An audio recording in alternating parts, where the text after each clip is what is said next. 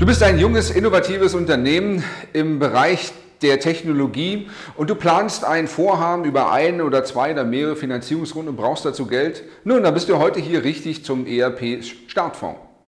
Mein Name ist Daniel Schäfer und ich bin Geschäftsführer des X-Group Instituts für Gründung, Finanzierung und Geschäftsentwicklung und wir begleiten jedes Jahr Unternehmen oder Gründer dabei, ein Finanzierungsprogramm auch auf die Beine zu stellen, später zu wachsen oder das Unternehmen zu verkaufen.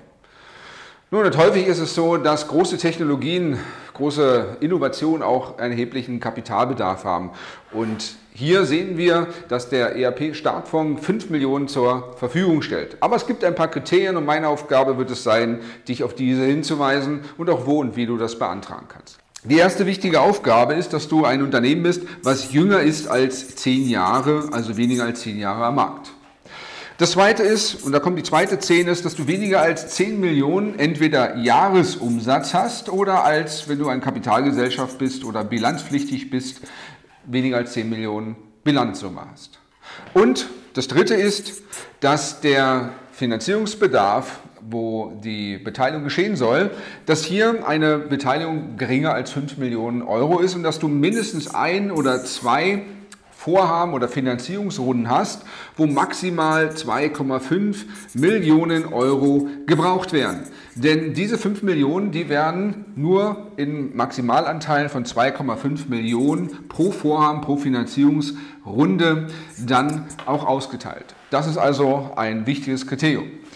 Dann da schreibe ich mal rein, maximal 2,4 Millionen pro Vorhaben. Das vierte ist, dass du für den anderen Anteil einen Lead-Investor brauchst. Also du brauchst einen Lead-Investor, der genau mit der gleichen Summe auch in die Finanzierung eintritt.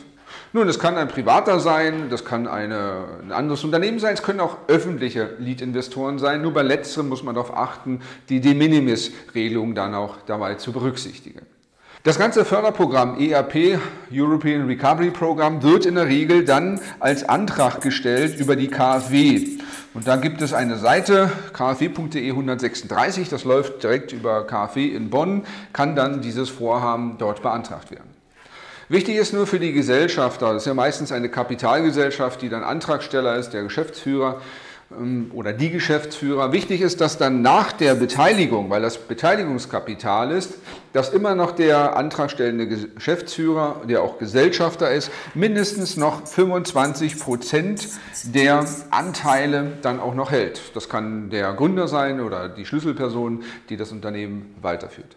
Das kann sehr vorteilhaft für dich sein, wenn du Beteiligungskapital suchst und auch bereits einen Lead-Investor hast, um das Kapital zu doppeln.